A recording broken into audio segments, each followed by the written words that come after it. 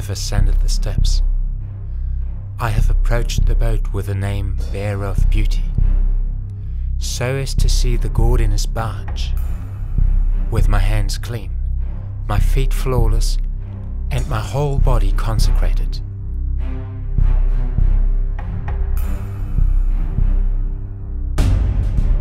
I have pulled the cord away to approach the shrine.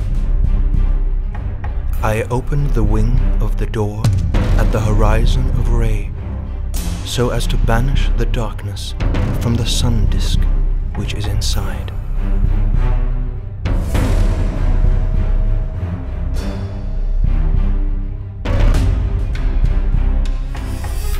I have undone the seal, so as to hold high the living eye for his Lord. I am Thoth, who brings the brilliant eye to his Lord, and makes Horus satisfied.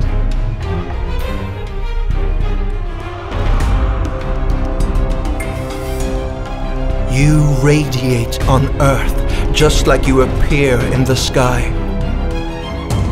And your radiant light besprinkles the entire world.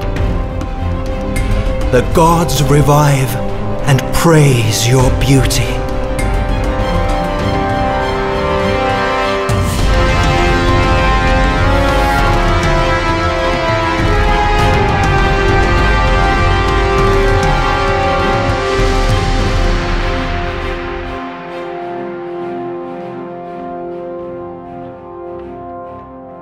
I have beheld the God. The powerful one is beholding me. The God rejoices at the sight of me. As soon as I behold the statue of the gaudily winged scarab, the sublime figure of the falcon of gold.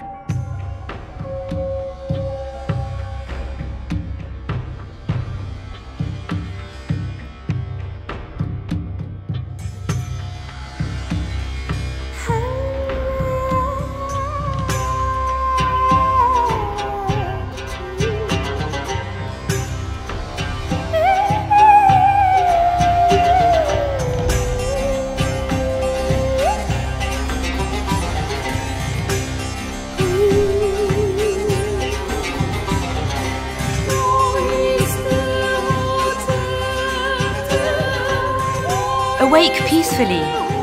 May you awake well and in peace. Awake, Horus Behedeti, with life. May both your living eyes, sun and moon, awake in peace. Send out fire and banish the dark. May your eyebrows, which make your face cheerful and know no anger, awake in peace. May your nose, The nest of the air with which you breathe, awake in peace.